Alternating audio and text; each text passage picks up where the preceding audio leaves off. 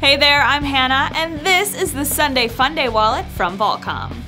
Here we have this awesome cotton and leather-like wallet with a nice snap open closure here, voila.